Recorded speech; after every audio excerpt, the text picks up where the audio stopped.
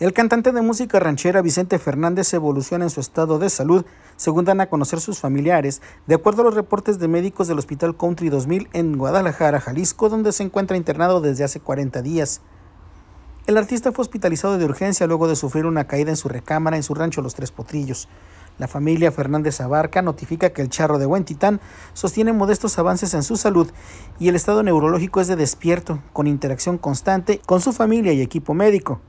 Vicente Fernández fue sometido a una intubación tras ser internado y permaneció varios días dependiendo de un respirador artificial.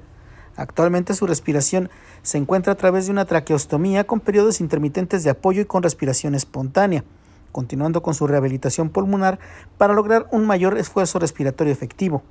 Por otra parte, la televisora colombiana Caracol confirma que se repuso la producción de la serie biográfica de Chente y se emprende el proyecto de manera conjunta con la distribuidora Netflix y contendrá 36 capítulos con locaciones en México y Estados Unidos. Se contempla abordar sus vivencias desde que era niño, expuso el presidente de Caracol Televisión, Gonzalo Córdoba. Para Noticiel.mx, Juan Carlos Huerta Vázquez.